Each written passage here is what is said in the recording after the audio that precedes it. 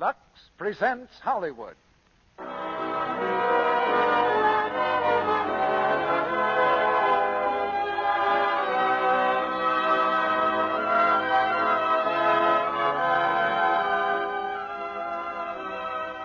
The Lux Radio Theater brings you Bob Hope, Constance Bennett, and Ralph Bellamy in The Awful Truth. Ladies and gentlemen, your producer, Mr. Cecil B. DeMille.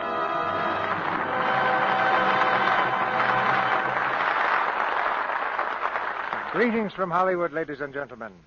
In the spring, a young man's fancy lightly turns to thoughts of love. And although it's still winter on your calendar and mine, it's spring in the heart of Bob Hope tonight. He's here with Constance Bennett and Ralph Bellamy to bring us the awful truth, a gay comedy that gives Bob plenty of scope as a Romeo. You'll remember the awful truth as a Columbia picture hit, and we've adapted it especially for these three stars. I won't tell you how many dozen scripts and thousands of feet of film were left along the wayside before we picked this play. But it was worth all the trouble when the irrepressible Mr. Hope began rehearsing his romantic role with Miss Bennett for inspiration and Mr. Bellamy for opposition. It's a brand new chapter in the Hope saga. In fact, I think we're making history. Bob's success story is amazing even for Hollywood. But there's another success story that concerns the Lux Radio Theater, too. It happened in Hollywood, and it's happened in just about every other city, town, village, or crossroads between here and wherever your loudspeaker is. And it's happening still in every day. That's the success story of Lux Toilet Soap. And the stars of this particular su- success are listening to the Lux Radio Theater right now. I say stars because it's not a single person. It's every one of you who uses Lux Toilet Soap. And that must be almost as many stars as are visible on a clear California night. Now we give you the story of Jerry and Lucy Warner and their stormy voyage along the course of true love, one of the happiest hurricanes that we've ever sailed with. You see, it takes more than a singing teacher, a dog named Mr. Smith, and an oil millionaire to stop Bob Hope. The house lights are down, the curtain goes up, and here's the first act of The Awful Truth, starring Bob Hope as Jerry Warner, Constance Bennett as Lucy, and Ralph Bellamy as Dan.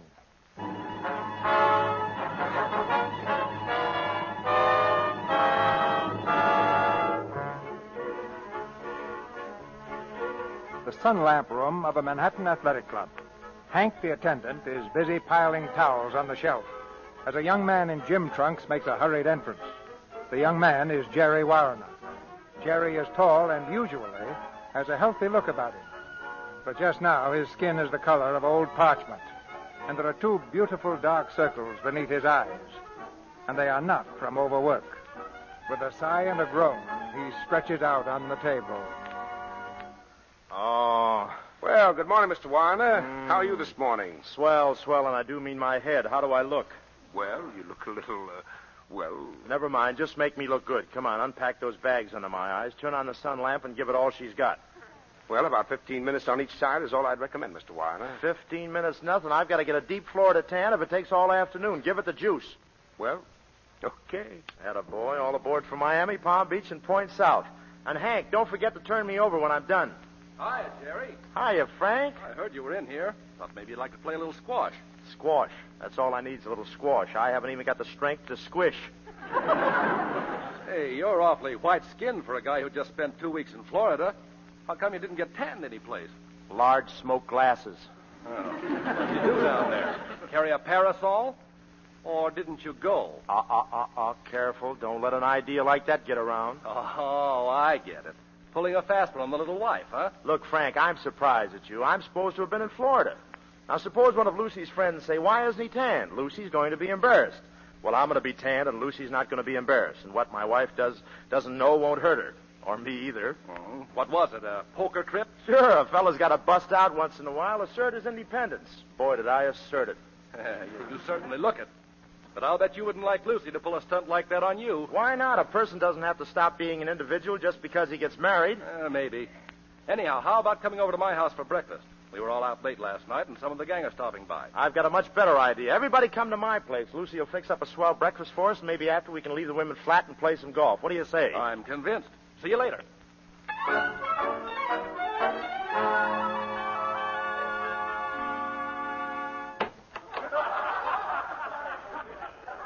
Okay, ladies and gents, come on in. The joint is yours. Jerry, that sunburn Well, you're positively vermilion. Wait till Lucy sees what Florida did for you. Hey, where is she? Lucy, it's your brown as a berry Jerry. You who, Lucy, surprise. You who, Lucy.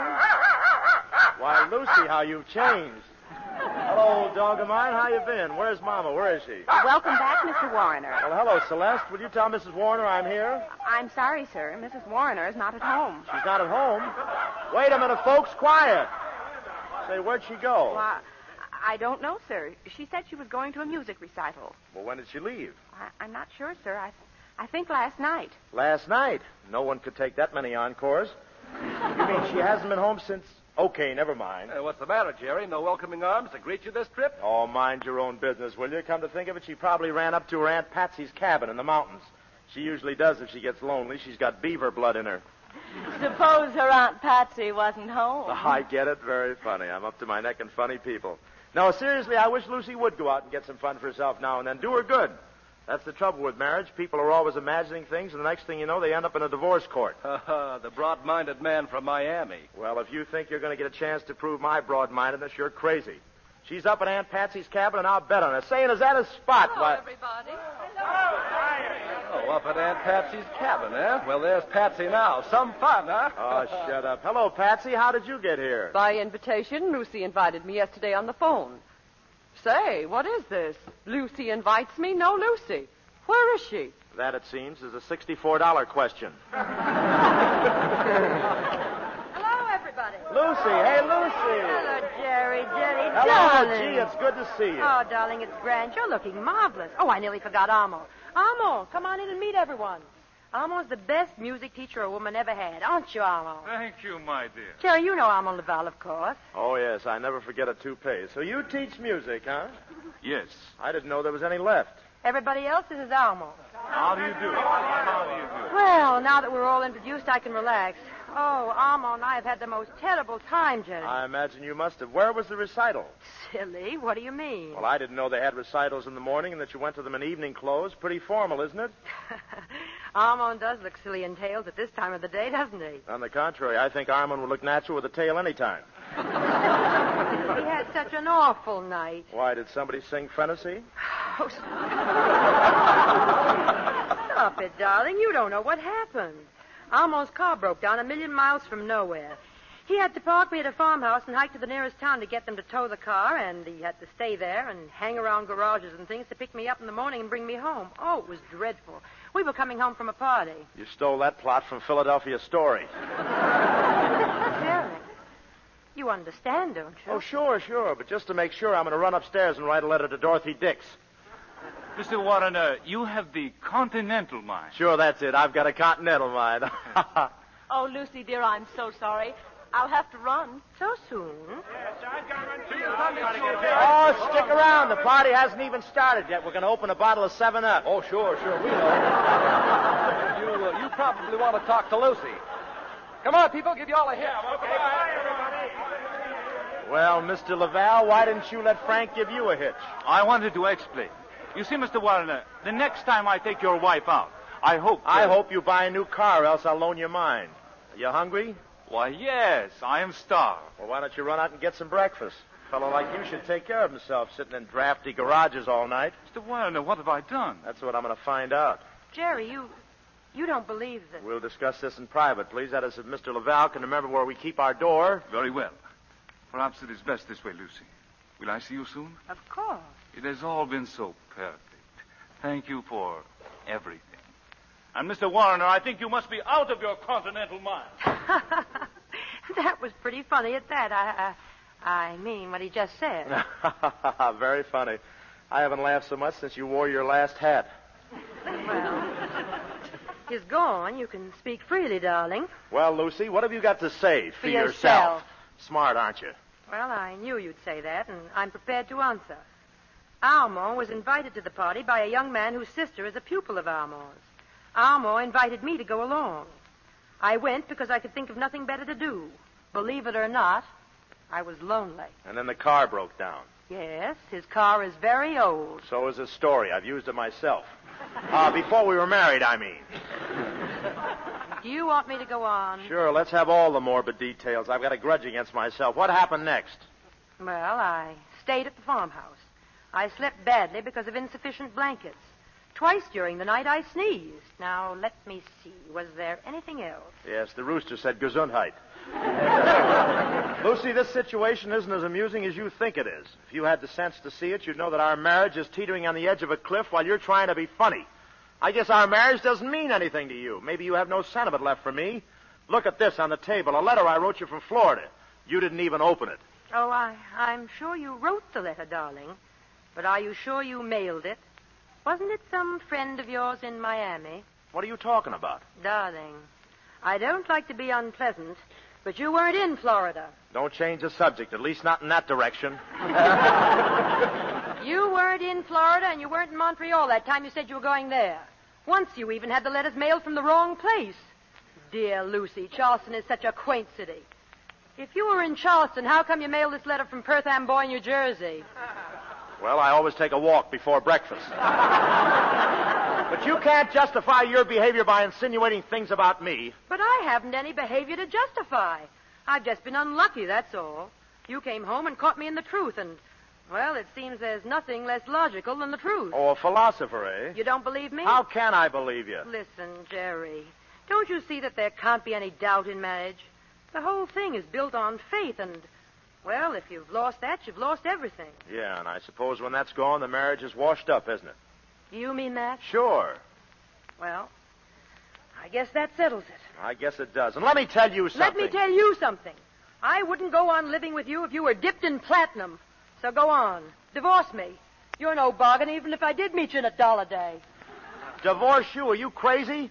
Do you think I want people to think you preferred that, that eight bar rest to me? All right, then, I'll divorce you. That's customary anyway. It has something to do with the husband being a gentleman. Never mind the gentleman stuff. Just get going on it. Fine, I'll call a lawyer right away. And, uh, by the way, darling, what's the most convenient day for you to be divorced? And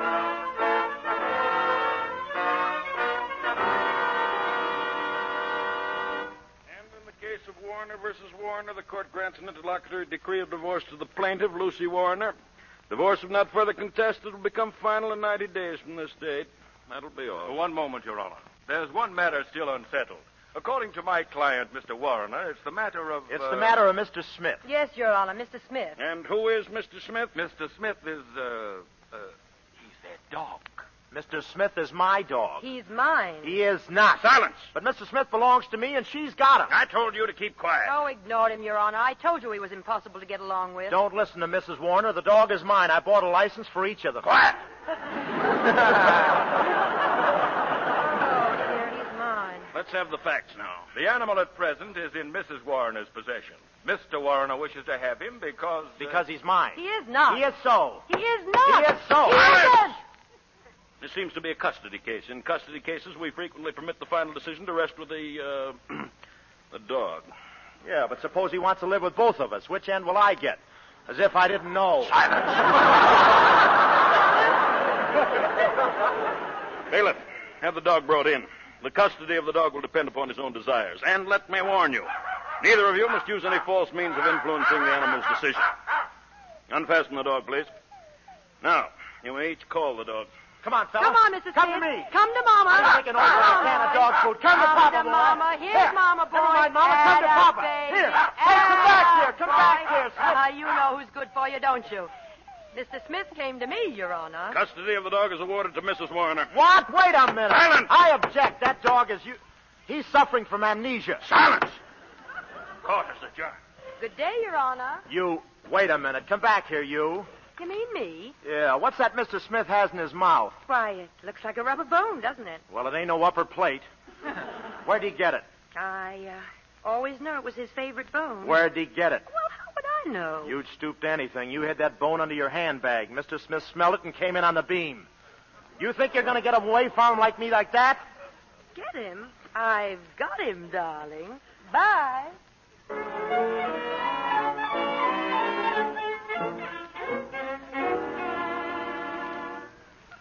Rain, rain, rain. Look at that rain. Why, Aunt Patsy? Is it doing anything besides falling? I don't think so. Nothing unusual ever happens around here. If I'd known we were going to be buried side by side, I'd never have consented to take an apartment with you. But I needed you, Aunt Patsy. You know the period of readjustment that comes in the wake of a divorce. Readjustment my foot. That's just another word for moping around. Oh, don't be silly, Patsy. Why, you know dozens of men who turn handsprings at the chance to take you out. But no, you'd rather sit around and readjust yourself. Oh, you're just an old grouch, that's all. Yeah, well, this old grouch wants to go somewhere where there's life. And I don't mean plant life. Well, we can't go out without escorts, so that's that. Lucy, I don't need an escort to go down to the lobby. I'm going down to the newsstand and see Joe. He may be funny looking, but he's a man. Maybe he knocks off early. Patsy, you wouldn't. I wouldn't, eh? You're talking to a desperate woman.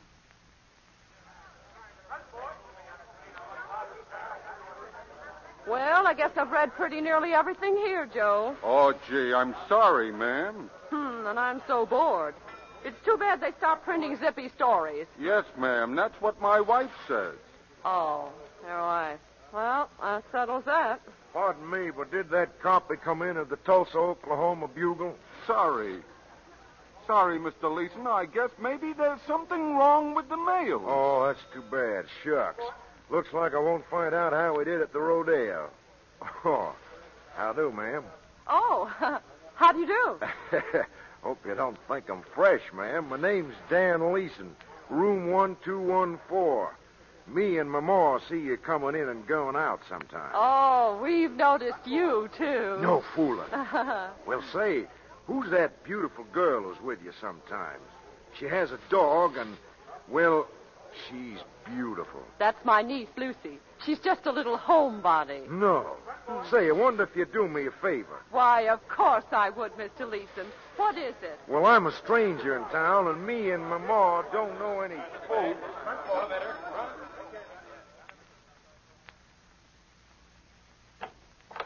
Go right in, Mr. Leeson. Thanks very much. I think it's just wonderful that we met this way.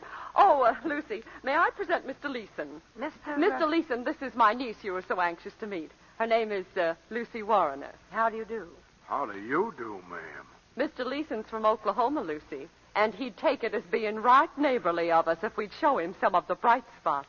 Well, it's it's raining rather Uh, hard. and Mr. Leeson lives right across the hall with his mother. Uh, isn't that what you said with your mother? Yeah, with my ma. We're here on a visit. I got 30 oil wells out near Tulsa. Mmm, how lubricating. Please, uh, tell us about Oklahoma, Miss Leeson. Well, we all think Oklahoma's pretty darn swell. We think, Oh, there's the door. I'll get it. Yes, Miss Leeson? like I was saying, Oklahoma is pretty darn Hello, Aunt Patsy. Oh, Jerry. Well, how's the old girl? Still hitting the adrenaline? Tell me, how you stand in the rainy weather? Uh-huh. We never let an occasional drip bother us. Come right in. Oh, thanks, Patsy. Where's Lucy?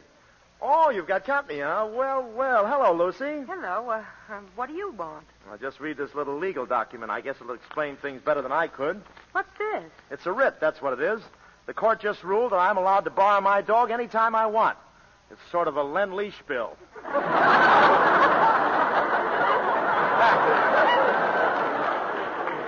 the order reads that I can visit with him and entertain him in any form or manner that does not endanger life or limb. Oh, so now I suppose you've come to take him bicycling.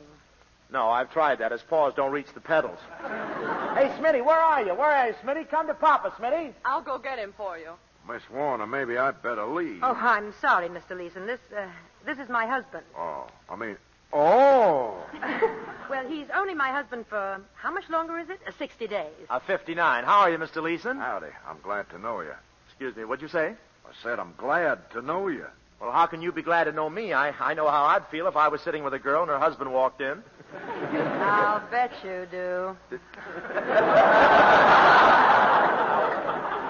What's that supposed to mean? Oh, nothing. Nothing at all. Anyway, I'm glad to see you, Mr. Leeson. You known Lucy very long? Lucy? Yeah, Lucy, my wife. Well, no. As a matter of fact, I'm a stranger here. I'm from Oklahoma. No. That's right. I'm an oil. What's that? I said I'm an oil. Oh, marinated, eh? Well, really. I thought so. Jerry. Uh, Jerry, uh, why don't you go play with the dog? Oh, sure. Where is he? Hey, Mr. Smith. See his master's voice. Gee, old fella, it's good to see you. Oh, stop licking his face, Jerry. Look what I brought you, your old leather strap. Come on, old fellow, let's have a tug of war. You were telling us about Oklahoma, Mr. Leeson. Well, I'm really a man of many interests out there, Mrs. Warner.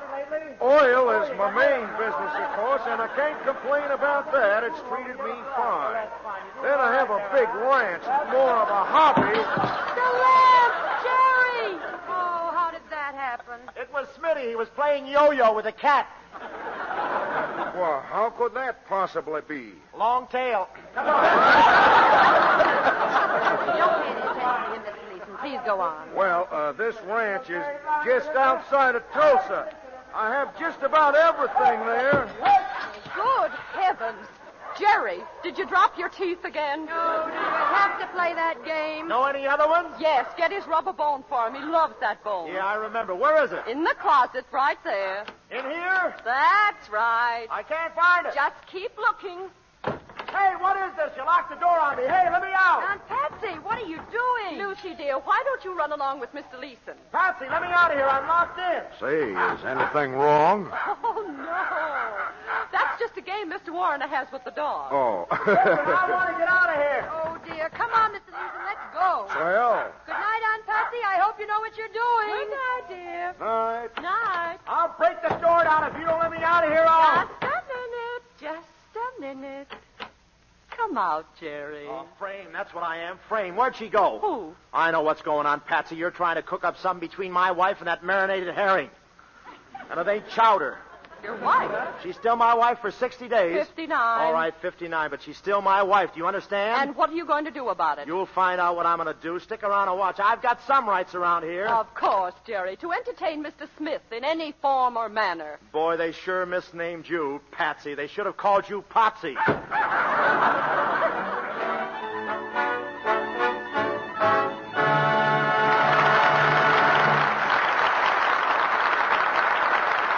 just a moment, Mr. DeMille and our stars, Bob Hope, Constance Bennett, and Ralph Bellamy, will bring us Act Two of The Awful Truth. Meantime, let's reenact a little scene that took place in a big office just after lunch the other day. Hello, Sue. Well, what's got you looking so starry-eyed? Boyfriend take you to lunch? Mabel, who do you think was in the elevator when I went down to lunch? Madeleine Carroll. Really? No kidding. I heard she was in town, though. I was standing right next to her. She got on at the eighth floor with a couple of very important looking men. And Mabel, she was dressed just as plain as you or I. I mean, she had on a tailored suit and a little felt hat. Oh, but Mabel, I'm telling you, she certainly has got glamour. Is she as good-looking right close as she is on the screen? I got a wonderful chance to see, standing so close. Real blonde hair, big blue eyes, and Mabel, what a complexion. Smooth, and I mean smooth. Mabel, you know what I'm going to do tonight on the way home? What? Get some Lux soap. Madeleine Carroll always uses it, you know. And from now on, I'm not missing a single day on my Lux soap care. And I don't mean maybe. Smart young Sue. It's a fact, you know, that Madeleine Carroll, like nine out of ten other Hollywood stars, cares for that exquisite complexion of hers with regular use of gentle white Lux toilet soap. In her own words, this is what she says. Complexion beauty should be cherished. I've found the right care for my skin. Active lather facials with Lux soap really work for me. And if you were to ask Madeleine Carroll how to take a Lux Soap Active Lather Facial, here's what she'd tell you. Pat the Lux Soap Lather lightly into your skin. Rinse with warm water, then with cool. Pat dry with a soft towel. Now see how fresh your skin looks. There is a simple, inexpensive beauty routine any woman can follow, and right in her own home. It takes just a few minutes, you know. So why don't you try these Lux Soap facials for 30 days? Just see if this gentle care doesn't leave your skin feeling smoother, softer. Remember, a soap used by famous screen stars, the world's loveliest women, just has to be something special. So, get three cakes of Lux toilet soap tomorrow. Now, our producer, Mr. DeMille. Act Two of The Awful Truth, starring Bob Hope as Jerry Warrener, Constance Bennett as Lucy, and Ralph Bellamy as Dan.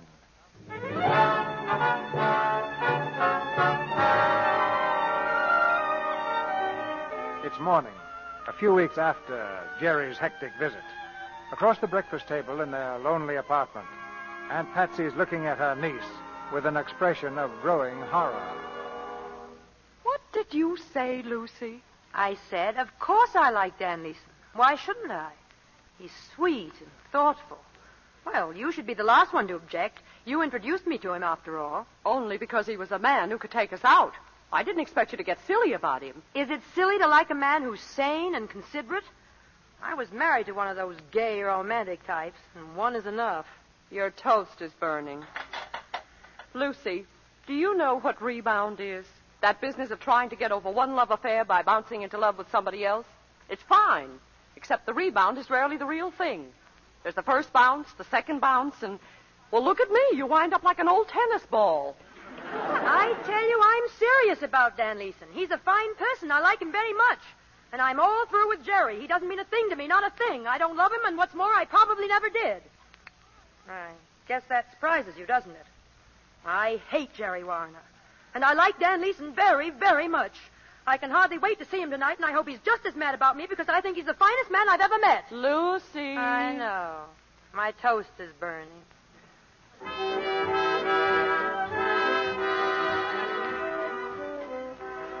Honest to goodness, Mr. Warner, I think it's simply wonderful of you all to come here just to hear me sing. Yes, I could listen to you sing till the cows come home. What time do they usually get here? you're awful sweet and all that, but you always seem to have your mind on something else. Or, or maybe it's someone else. Am I right, Sugar Pie? Yes, I'm in love with love. In the spring, a young man's fancy lightly turns to what he's been thinking about all winter. How long have you been talking like Amos and Andy?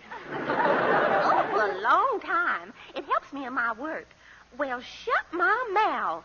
You shut it. You're nearer to it than I am. Mr. Warner, who's that gorgeous creature just coming in? Where? Oh, that creature. Well, you've heard that gag that's flying around town. Who was that lady I saw you with? Oh, you mean that's no lady? That's your wife? Uh huh. That's my wife. I guess this is our table over here, Lucy. Sit down. Come on over and meet my better half before the odds drop. Hello, folks. Oh, hello. Uh, this is Miss Dixie Belle Lee. This is Mrs. Warner, and this is Mr. Leeson from Tulsa. Flowing Gold Leeson. He's a big oil man. Oh, an oil man. Crude. I wouldn't know. Ask my wife. Mighty proud to meet y'all. Now, you're sure we're not intruding? Huh? Well, what do you mean? Well, wouldn't you like us to have a drink? Why? Thanks, Dan. I will. Why, yes, of course. Mm, Sit down, Dixie. Well, now, isn't this cozy? So you two are going to be married, eh, Lucy? Well, I always approve of marriage. I think it's a wonderful way to spend a few weeks. And I was glad when I heard about it. I said to myself, that Leeson's just the man for Lucy. And then I said to myself, you're nuts. Oh, pay no attention to him. He's always talking to himself. Um, this is a charming place, don't you think, Miss? Uh, Dixie Belle Lee. Uh, do you like it, honey? I'm so glad, because I kind of feel the place is mine. Oh, do you come here often? Oh, I work here. Didn't you all know that? No. Say, you're from the South, aren't you? Now, isn't he just the cleverest yet? How'd you all ever guess that, Mr. Mayor? Oh, he's pretty fast in his feet, this fella. But you see, folks, Dixie Belle Lee isn't her real name. No. No, no, she changed it because her family objected to her going into show business. You see, it was quite a shock to them because they made all their money tilting pinball machines. Isn't that right, Dixie? Well, that's right. Well, I guess I better go now and get into my costume. Uh, reckon y'all can stay to see my act? Of course we'll stay. Nothing could drag us away. Well, see you later, sugar pie. I'll be here, sponge cake. Uh, she she seems like quite a nice girl, Jerry. Oh, she is. But wait till you hear her sing, a golden throat. That's what. I keep coming here all the time just to listen to her. How faithful of you. Does she really sing awful good? Well, I don't think her singing's up to Lucy's, but Dixie has a sort of elfin charm, a je ne sais quoi, if you know what I mean, and I don't. Um, Dan, dear, don't don't you think you ought to ask Jerry about it now? About what? About our mine, Jerry. What mine? Our mine, you know, our coal mine. It's our last tie, Jerry, and well, I was telling Mr. Leeson how badly it was doing, and he thought maybe he could do better with it. That's right. I, I'd like to gamble on it, Mr. Warner. I'm pretty lucky. Know what they call me out west? Yeah, is that why you came east? Say, how about us having a conference at my apartment tomorrow? Well, I, I don't know. I'll have to think about it. And now, ladies and gentlemen, it's with great pleasure that I present that great little artist, Miss Dixie Belle Lee. Give her a big. Here she comes, isn't she pretty? She sure is. The uh, costume's a little short, isn't it? Yeah, it's a southern costume, sort of a lily cup with a bustle. Listen to this. This is great. Oh, Maxwell,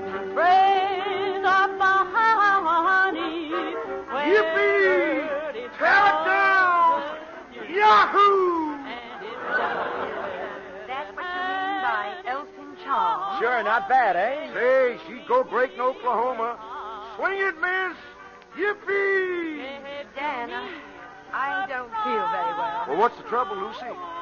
Dan, uh, take me home. But, Lucy, we can't walk out in the middle of Miss Lee's singing. Don't you like her, Lucy? No, I just love her.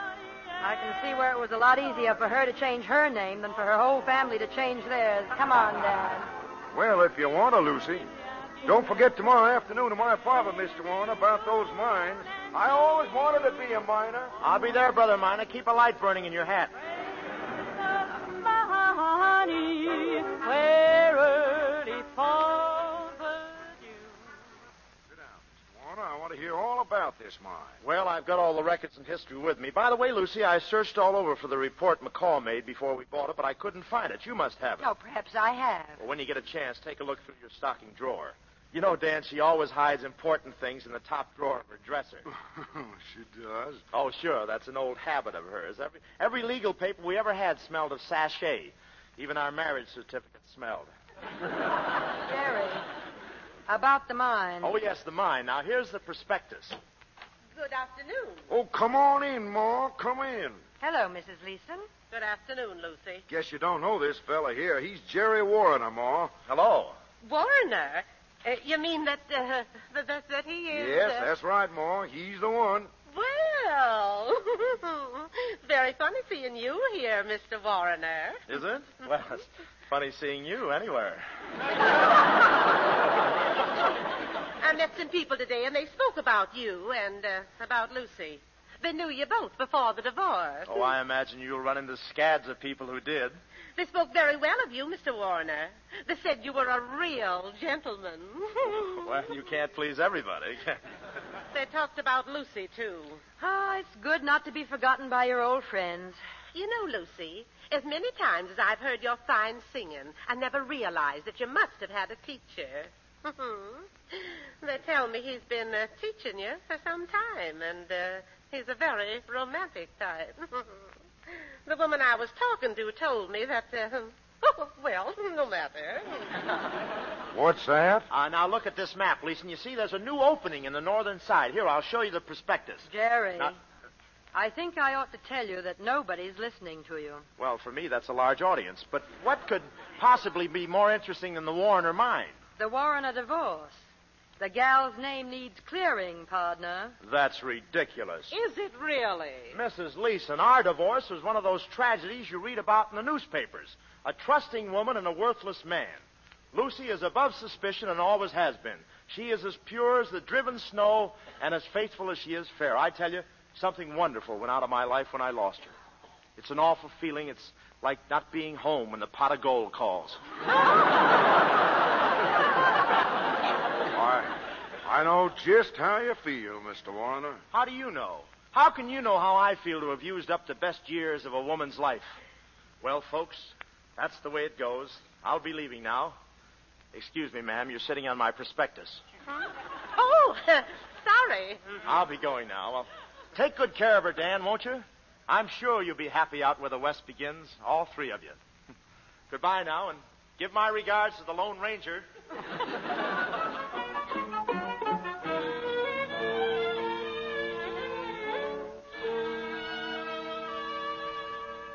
Hello. Hello, Lucy? Yes? Lucy, this is Jerry. I've got to see you tonight. I'm sorry, Jerry. Listen, Lucy, it's important. We've had enough of this foolishness. I want to talk things over. Oh, you do? Well, not tonight, Jerry. I'm going to a recital at uh, Armand Laval. Well, I don't. What? Oh, Laval again, eh? Well, you're not going. I'm sorry, Jerry. Listen, you're still my wife. If I find you with that Laval bird, I'll tear him limb from limb. Do you hear? Hear. Goodbye, Jerry. I'm late for the recital already. Hello, hello, hello. Operator, return my slug.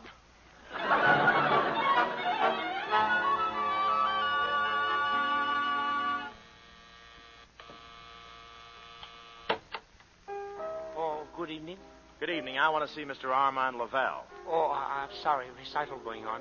Is my wife in there? Oh, plenty people. I don't know. Well, let me go see. Oh, oh, oh, no. Sorry, sorry. You cannot go in. Listen, who are you to tell me where I can go? I'm Mr. Laval, Filipino boy. Yeah, well, stand back. No, no, no, no. I'll stop you. Oh, you will, eh? How? Oh, uh, jiu-jitsu. You go push past me, I take your hand like this. Yeah, and then what? I go like this. Oh! Well, don't stand there. Look around for my right leg. Oh, oh, sorry. I not mean to hurt. Listen, I'm going in there, see? I know a few jujitsu tricks of my own. Oh, that's so? Yeah. I put my hand like this, see? And then I do like this. No, no, no, no. Like this, much better. Oh! you see, I win again. Yeah, well, you haven't seen the last of me. I'll be back and give you what you deserve. As soon as I can get my hip back inside my skin.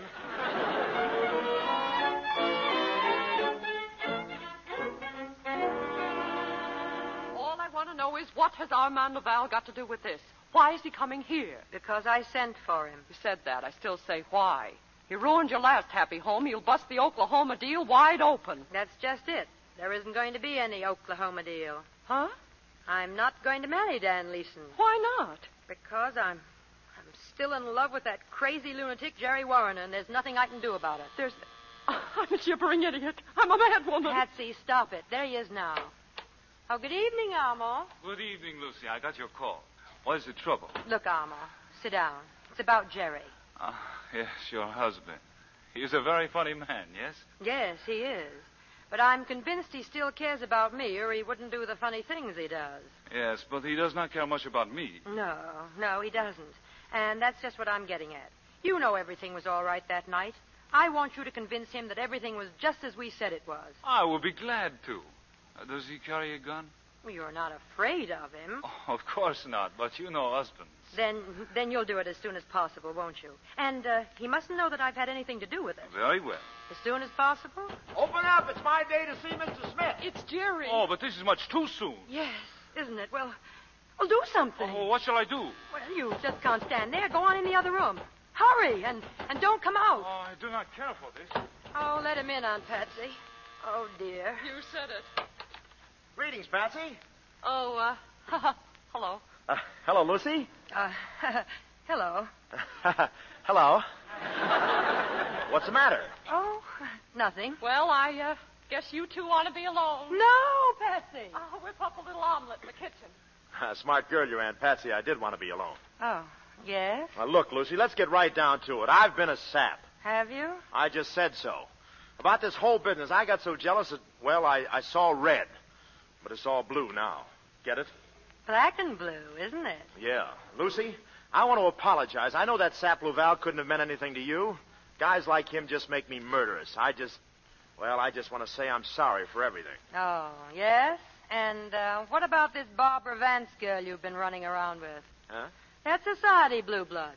The morning paper said you were going to marry her. Oh, that's nothing. A misprint. You see, Never she... mind explaining. Let's meet later and talk it over. Goodbye, Jerry. Yeah, but I just. Here's your hat. Goodbye, Jerry. Yeah, but I'll I. call you later. Goodbye. Say, are you trying to get rid of me? Of course not. Why should I try to get rid of you? Here's your hat. My hat? That isn't my hat. Oh, no. Isn't it? No, look, comes down over my ears. Well, isn't that funny? Uh, did you get a haircut, maybe? Not since I came in here. but I think I'm getting a clipping now. Take a look at it. Doesn't it look funny to you? Hmm, yes, it does look a little roomy. But uh, maybe they're wearing them that way this year. No, I don't think so. Not as big as this. My chin is resting on the sweatband. Aunt Patsy, the bell. All right. Look, if you've got company. Oh, I- it's nobody. Just Dan Leeson, probably. Leeson. Well, I don't want him to see me here. I've caused you enough trouble. I'll just duck in the other room. No, no, Jerry. Oh, but I want you to be happy, Lucy. I'll wait in there till I've gone. Jerry, listen, wait. Oh. Uh, Hello, Miss Adams. It's Mr. Leeson and his mother, Lucy. Hello, Lucy. Lucy, dear, I've come to tell you something. Oh, uh, hello, hello. We've come to tell you, Lucy. Yes, well, well, what have you come to tell me? I want to apologize for those awful things I accused you of, Lucy. Yes, go on. What's that? I uh, think somebody's cleaning up in the other room. Lucy, I, I- I don't want you to be angry with me for repeating what that awful woman said about your divorce. No, of course not. I, I'm not. What nonsense. What is that? Let me alone. Don't kill me. I'll break your neck. I'll tear you apart. Don't kill me. Don't kill me. You hide her behind closed doors. I'll break every bone in your body. Oh, don't forget to touch second, boys.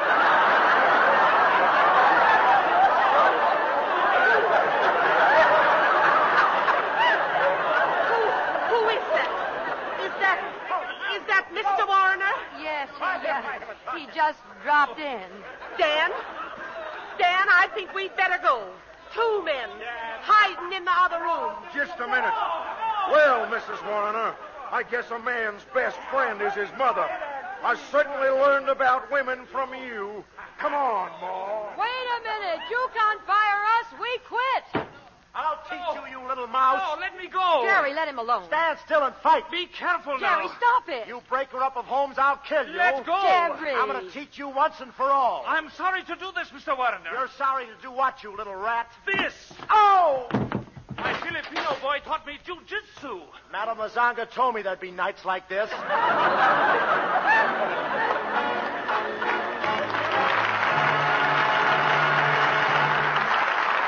After a short intermission, Mr. DeMille and our stars, Bob Hope, Constance Bennett, and Ralph Bellamy, will bring you Act Three of The Awful Truth. Meanwhile, let's listen to how a near crisis was averted in the Davis family the other evening. Just time for a shower before dinner. Hey, Mary, I can't use this sissy stuff you got in here. Where's some of that Lux soap? I want some real lather. Oh, you poor dear. I forgot to take that awful stuff out of the bathroom. It's some soap I wanted, Bridge. I thought I ought to use up. Here's what you want a nice new cake of Lux soap. Well, it is an awful letdown to bathroom baritones when they find that someone has spirited away their Lux soap. Because Lux toilet soap makes a wonderful bath soap. It gives rich, luxurious lather in a jiffy. Active lather that quickly removes perspiration, every trace of dust and dirt, and leaves you feeling like a million. Now, a man might not admit it, but he's likely to be just as fussy as a woman about the soap he uses. You can count on it. The man of your family yearns for a good, firm cake of soap that gives quick, abundant lather, even in hard water. And you won't disappoint him if you always have plenty of Lux toilet soap in the bathroom. Fortunately, you can let the whole family enjoy this luxurious soap and still be economical. Lux soap costs only a few cents a cake, you know. And here's another important thing you'll notice. Lux toilet soap is hard milled, can be used right down to the last thin sliver. It's really thrifty. So give your family this soap that's as fine as money can buy. Get a supply of Lux toilet soap tomorrow. We pause now for station identification. This is the Columbia Broadcasting System.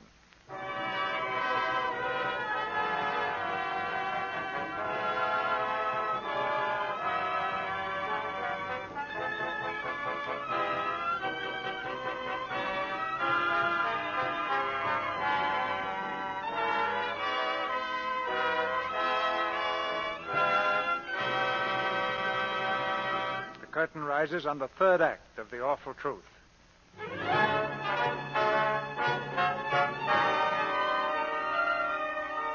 Two weeks have gone by, and the divorce is almost final. Jerry is now determined to marry the society heiress, and Lucy is just as determined to prevent it. In Jerry's apartment, she stands facing him, smiling coyly. Hello, Jerry. Hello, what do you want here? Well, I, I just thought I'd. You know what today is, don't you? Certainly. Our divorce becomes final tonight at 12 o'clock, and tomorrow we'll both be back in circulation. That's right. So, so I just thought I'd drop up to wish you a lot of luck. Well, that's very nice of you, but I'm just on my way out. Where to? If you must know, I'm on my way out to a pre engagement dinner for me and Barbara at the Vances. Jerry, you can't. Why not? I'm hungry. You can't can't because you love me. Of course I loved you. I said love, not loved. Oh, you're so stubborn. You're throwing away our happiness. Barbara's a fine girl. We'll get along swell together. But that isn't necessarily happiness, Jerry. You and I fight and we disagree on every subject under the sun, but we were happy. I was happy with you, yes, but Armand and I are incompatible. Jerry. For heaven's sake, you can't go through with this. You'll be miserable. Oh, you dope. Why can't you understand? Will you please stop, Lucy? Where's your Dan Leeson? Why don't you go back to that fugitive from Boomtown? I'll take it. Oh, no, you won't. This is my house, and get out of the booth. I've got it. Hello? Hello? Oh, hello. Well, who is this, may I ask? Give me that phone. Jerry, I, I think it's what's her name. Hello? Hello? You have to answer my telephone? I only said hello. Shut up. Now, what am I going to tell her? Tell her, tell her to call you back. Yeah. Oh, shut up. Hello? Hello, darling? Well, it took you long enough. Have you made up your mind who the woman is? Oh, that's very funny. I knew you were going to ask me that. Oh, so did I. Who was she? Oh, it's really very simple. That was my uh, uh, my sister. Really? I didn't know you had a sister. If I could only be drafted right this minute. oh, sure, honey. She just got back from Chicago. Dropped in to see me, you know. How sisterly. Oh, I'd love to meet your sister, Jerry. Why don't you bring her along tonight? Oh, no, I don't think she can come over this evening. She has a previous engagement. Oh, I'm sorry. Well, naturally, she's very anxious to meet you, too, dear. Yes, tell her I'd love to meet her. Tell her to wear boxing gloves. Shut up. Barbara, I'll do my best to fix it up so the two of you'll meet very soon. Goodbye. Goodbye, dear. Hurry over. I will. Now I'm in a fine fix. She wants to meet my sister. Well, You're a big help. If I had a sister like you, I'd have my parents get an injunction. You know me. Anything I can do. Yeah, to break it up. I see what you mean. I'm in a fine mess. Oh, I wouldn't worry about it, Jerry. She trusts you, doesn't she? Of course she does. Sure, sure. But she'll learn. Just give her time.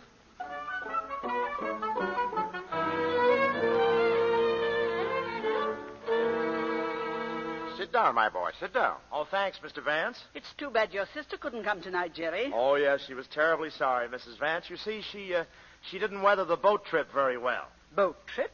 I thought you said she just came from Chicago. Uh, yeah, the hard way, I mean. Well, you can imagine my surprise when I heard a woman's voice on the phone. Well, you can't blame me for being suspicious, Jerry, darling. Oh, certainly. I mean, of course not. I was thinking, dear, Mother, don't you think it would be nice if I asked Jerry's sister to be a bridesmaid? Oh, lovely. Well, I, I think she's sailing back to Chicago right away. uh, you'd like my sister, though, Barbara. She's very much your type. Where did she go to school? Well, she she did what? I said, where did she go to school? Oh, in Switzerland. Oh. And you say your father was a Princeton man. Uh, that's right, class of 92. Uh, he tells some very funny stories about the place in those days, too. He, he tells one in particular about a football game. It seems Yale was playing Princeton one day, and... I beg your pardon, Mrs. Vance. Yes, Edwards? Mr. Jerry's sister has arrived. Huh? Miss Lulu Warrener. Hello. Well, I made it, Jerry, dear. Surprised. You maniac. What'd you say, dear? Oh, I just asked how you were feeling. Oh, fine, fine. I'm feeling fine. Uh, uh, Mr. and Mrs. Vance, may I present my sister, uh, Lulu? And what a Lulu. Uh, how do you do? It's so lovely to know you, Mrs. Vincy. Vance, dear, Vance. Oh, yes, yes, of course. Uh, Barbara, this is Lulu. How do you do? How do you do? You know, it's nice getting a chance to meet you, too. I, I seen your pictures in the paper, and I wondered what you really looked like. Well, I've wondered about you, too. Thank you. Say, uh, did I interrupt something? Well, I was telling a story about my about Dad. D- oh, you mean Pop. Well, go right ahead, dear. Oh, thanks. You see, Mr. Vance, it was Yale's ball on Prince's two-yard oh, line. Oh. Mrs. Vance, and- I don't like to appear rude, but I wonder if I could have a teeny weeny little drinky. I had three or four before I got here, but they're beginning to wear off, and you know how that is. Now, wait a minute. Now, don't you look at me like that, Jerry. You know perfectly well that you like a little drink now and then yourself. And we call him Jerry the Nipper. He likes to sneak them when nobody's looking. He's awful cute about it, too. I seen him go along all evening just as if he didn't have a thing to drink, and all of a sudden fall flat on his puss. Glass of sherry for Miss Warrener, please. Yeah, and come back dancing, Eddie. Say, I, I'm sorry to barge in on you like this, honey. What were you saying? Oh, well, I was just telling them one of Father's stories. Oh, well, I wouldn't do that. Well, I've cleaned it up. But you see, there was a... there was a minute to go. Dad had the ball. Ball? What ball?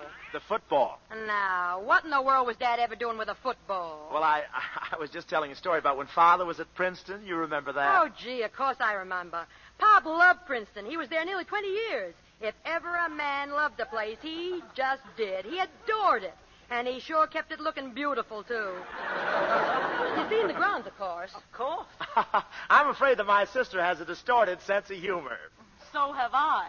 You just told us your father played for Princeton. Well, you see. Jerry, did you say that? Listen, you. well, I guess that's just one of Jerry's stories again. You see, when Jerry and I was kids, we was the worst liars in the neighborhood. We always used to pretend we had rich relatives who were going to die and leave us dough. But I guess it was harmless enough. Everybody knew we was just sort of kidding ourselves. yeah, let her ramble. My folks were worried about her.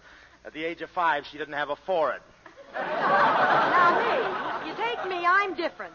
It ain't money that counts with me or position in life. It's art. All the time I was working at the Virginia Club, I thought You that... worked at the Virginia Club? Sure. Didn't Jerry tell you? No, he didn't. No, that's one thing I forgot. You're a singer, Miss Warrener? Sure, I sing. Perhaps you'd sing for us now. Sure I would. You own a piano? Right there. Oh, thanks. Where do you put the nickel in? Uh, you know, when I was... Say, wait a minute. Don't nobody leave this room. I lost my purse. There's your purse, Miss Warrener, on the chair. Oh, boy, am I relieved. Jerry, kind of keep an eye out on my purse for me, will you? This woman is positively crude. Yeah, that's what I've been telling. Oh, she is, huh? She's crude, huh? Well, maybe it runs in the family. Mr. Warrener. My, Jerry, what a thing to say. Now, look, sis, we don't have to put on the dog around here. Just be yourself. We're among friends, ain't we?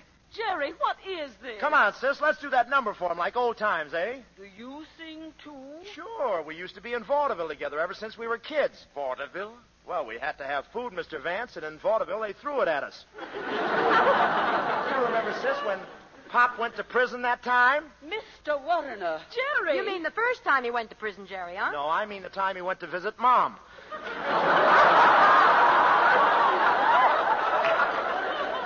But it was no disgrace. She was innocent. I don't believe she ever stuck up that grocery store at all.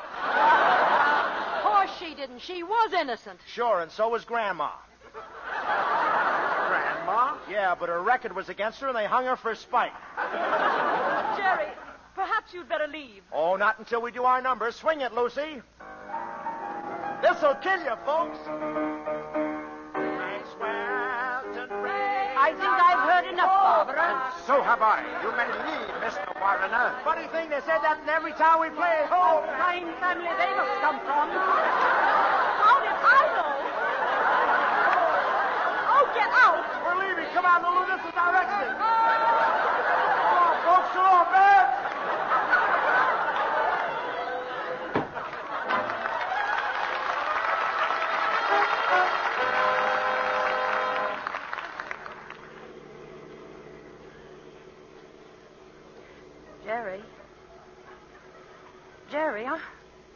Speaking to me?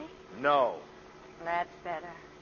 It's wonderful of you to drive me up to Aunt Patsy's cabin after all I've done. I, I'm afraid I caused you a little trouble, didn't I? A little trouble. Tell me, of the seven plagues, what number are you? Jerry, I, I'm sorry. I, Oh, shut up. I'm delivering you over to your Aunt Patsy, and then I'm leaving for good. I don't blame you, darling. I really don't.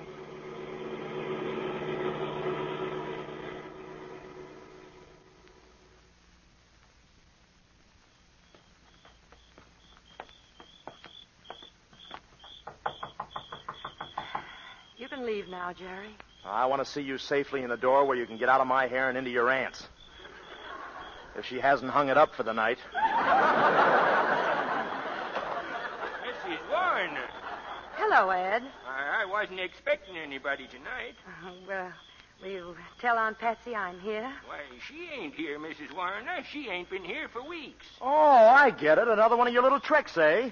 You thought you could get me up here on a cold night and ply me with a hot fireplace. well, it won't work. I'm going back to town. I'm going alone. Good night and goodbye. Goodbye, Jerry. Be careful driving, dear. Hey, What's the matter? the keys to the car, where are they? What? The keys to the car, the ignition key, where is it? I don't know. Did you have it when you came? How do you think I drove? You think I got galley slaves in the fan belt?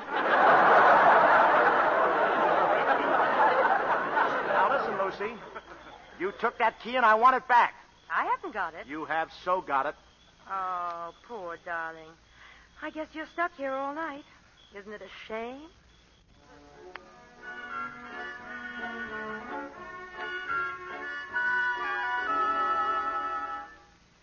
Oh, it's so nice sitting here.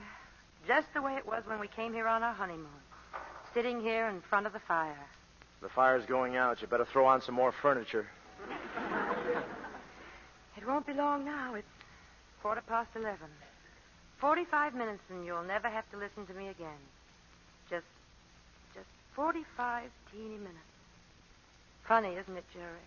Well, it wasn't my fault. I only. I'll keep quiet. Forty-five little minutes.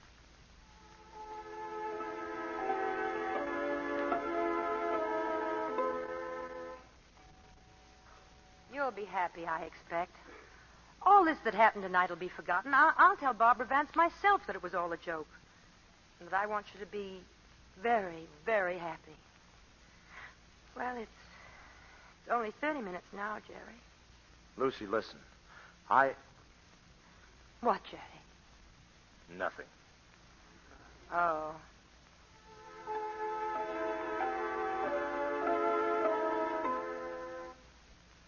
And you must never think of me. Never let me spoil your happiness, Jerry. Ah, I'll get along all right. Just, just be happy, darling. I'll get along all right. No one will ever know that. Oh, but I shouldn't say these things, should I, Jerry? But I'll get along all right. Wait a minute. Listen. Yes? Listen, Lucy. What? Listen, it's all off. I'm not going to go through with it. I don't care whether you love me or not. You're married to me and you're going to stay married. Do you hear? Jerry. Call the caretaker. No, I'll call him myself. Ed! Ed, come in here right away. Anything wrong, folks? Listen, you're a witness, see? The divorce is off. Huh? Oh, Jerry. We're calling it off on account of darkness. At exactly 30 seconds before 12 o'clock, we called off the divorce. Can you remember that and swear to it? You betcha. And you're pleased? You betcha. All right, then, get out. You betcha. And stop ad-libbing. Jerry. Oh, Lucy. Oh, Jerry, listen. Twelve o'clock. Wedding bells, darling. And every second that passes, I love you twice as much. Say it, Jerry. I love you, Lucy. I love you, Jerry. I love you. I love you. I love you. I love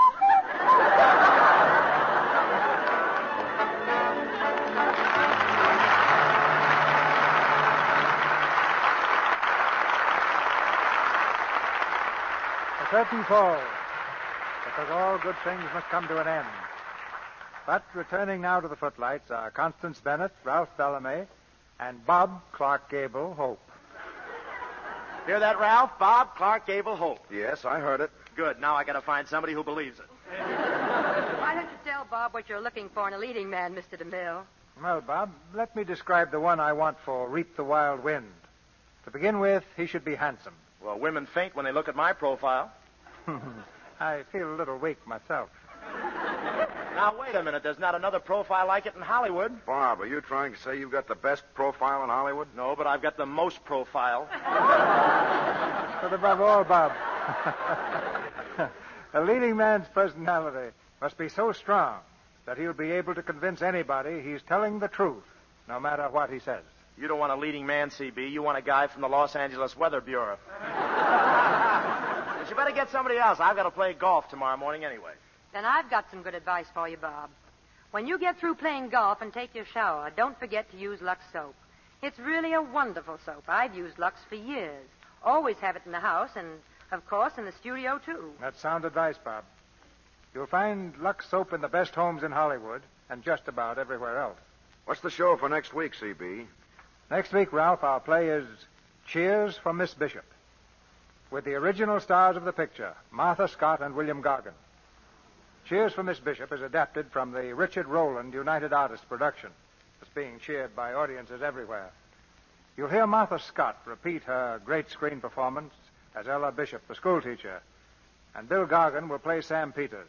It's a deeply moving love story, and will bring back heartwarming memories when we present these two stars in Cheers for Miss Bishop next Monday night. It was a swell picture, CB. I really enjoyed it. I saw it one night when the Ghost Breakers wasn't playing anywhere. but I know you'll have a great performance next week. Good night. Good night. Good night. To tell the truth, you are all cooperative.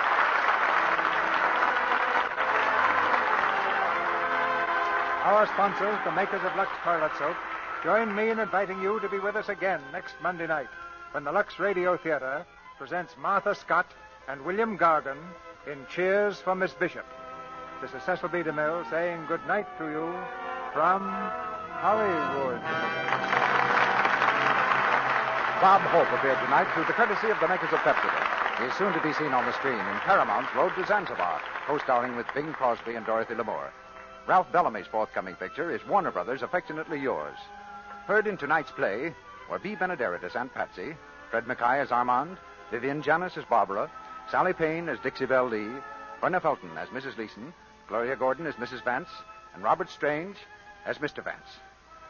Our music is directed by Louis Silvers, and your announcer has been Melville Ruick.